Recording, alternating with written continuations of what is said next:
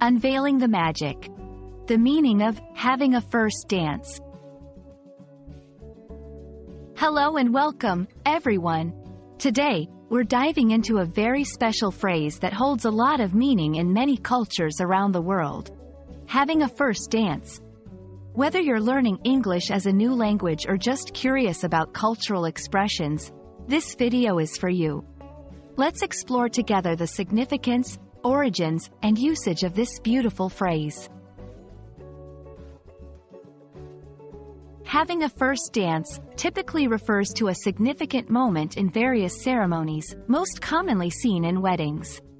It is the first dance that the couple shares as partners in a public or ceremonial setting, symbolizing their unity and the beginning of their journey together. This tradition is rich in symbolism and varies in execution across different cultures and countries. Across the globe, the first dance is more than just a dance. It's a statement of love, partnership, and sometimes, a rite of passage.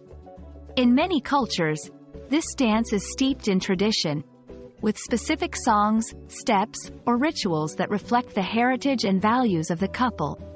It represents the couple's individual and united stories, hopes, and dreams. In contemporary settings, having a first dance has evolved beyond traditional boundaries. Couples often personalize their first dance to reflect their personalities, love story, or shared interests.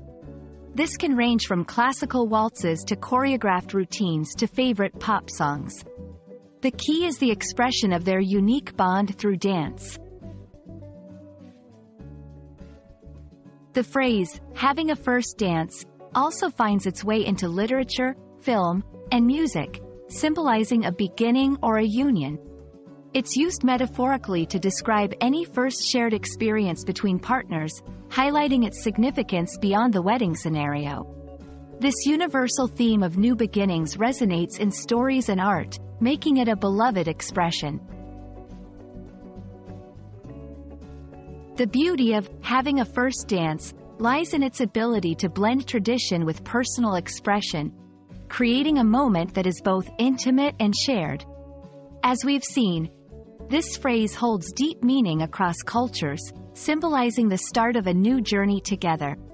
Whether you're planning your own first dance or just fascinated by the richness of language and culture, we hope this exploration has brought new insights and appreciation. Thank you for joining us, and may your learning journey continue to be as joyful and enriching as a first dance. Remember, every step in language learning is like a dance, unique, challenging, but ultimately rewarding. See you in our next video.